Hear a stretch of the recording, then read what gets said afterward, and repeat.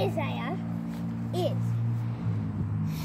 I just thought of that word in a video and thought to make up a random song about it. And a true story about it. Israel is a kingdom that live that roams everywhere.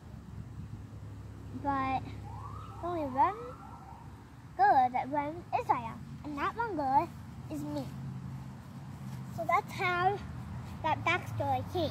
Where is Israel? Israel is in a far off place that celebrates um, celebrates Leprechaun Day every single day.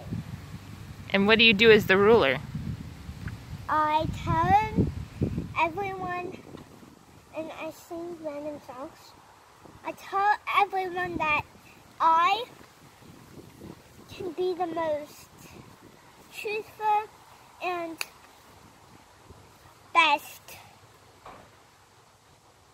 ruler of our times. And I am. Awesome.